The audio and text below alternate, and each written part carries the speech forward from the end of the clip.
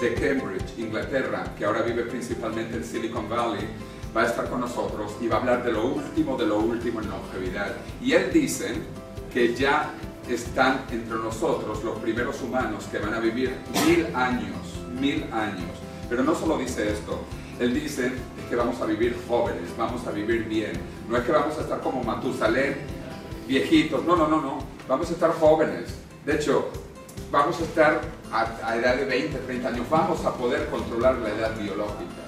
Una amiga mía también, Liz Parrish, a quien vamos a traer a España el año próximo, eh, está siendo rejuvenecida con dos tratamientos experimentales en estos momentos.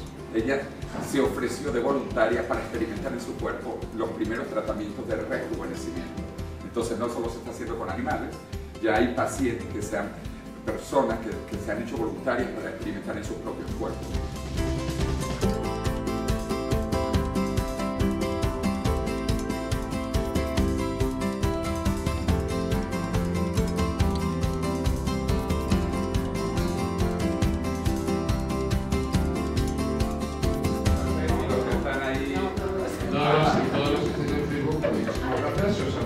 Madrid, España y. y- Capital de Plus Ultra.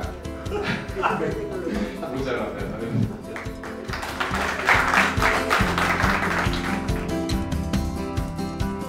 Vivimos en tiempos de cambios exponenciales.